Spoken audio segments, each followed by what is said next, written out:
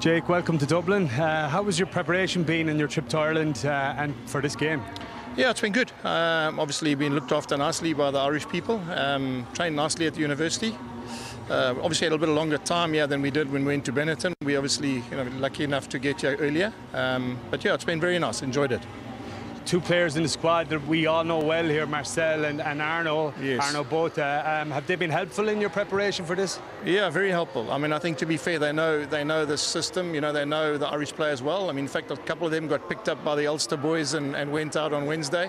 Um, yeah, but it's uh, as I said. I mean, they know they know what makes the Irish players tick. They, you know, they've obviously played in this in this. Uh, format before um, and yeah and I suppose the youngsters have looked up to them and then this is a week where they can give a little bit of background as to what to expect